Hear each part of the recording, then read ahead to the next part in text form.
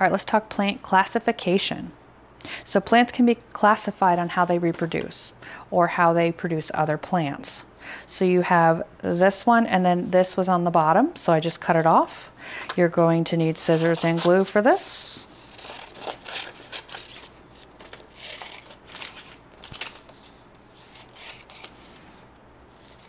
It doesn't have to be perfect, just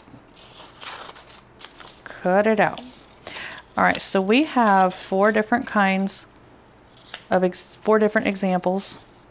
We have ferns and conifers, we have flowers and mosses. I'm sure you've heard of many of those names. So we have plants that make seeds and plants that make spores. Spores meaning something that's kind of like a seed but um, smaller. They are spread differently and they grow differently as well. So, plants that make seeds.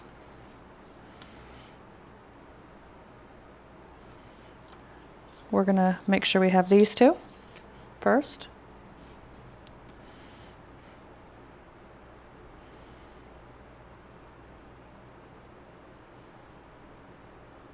Okay. Plants that make seeds and plants that make spores. We're going to glue this in.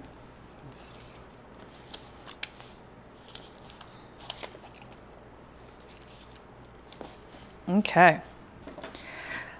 So plants that make seeds are flowers, like we've talked about in the past, and conifers. Now, conifer is like an evergreen tree, okay, like a Christmas tree.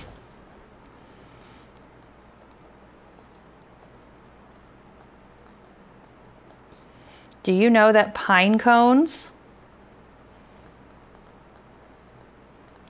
are big seeds?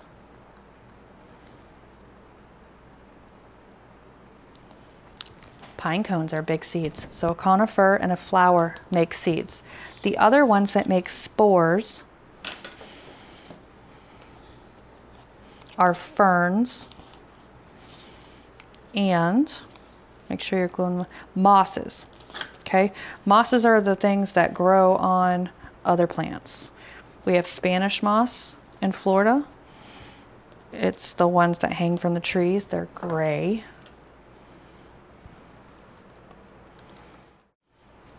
All right, now that we have those in here, let's talk about the differences. So, ferns and mosses have spores. Spores are created by the plant itself, it doesn't need another plant to pollinate it. So they just, ferns and mosses just create their own spores and they can spread like regular seeds. Seeds, they have to be um, pollinated, just like when we talked about in the parts of the flower. They have to be pollinated in order to have the seed grow. So those are the main differences, how they reproduce.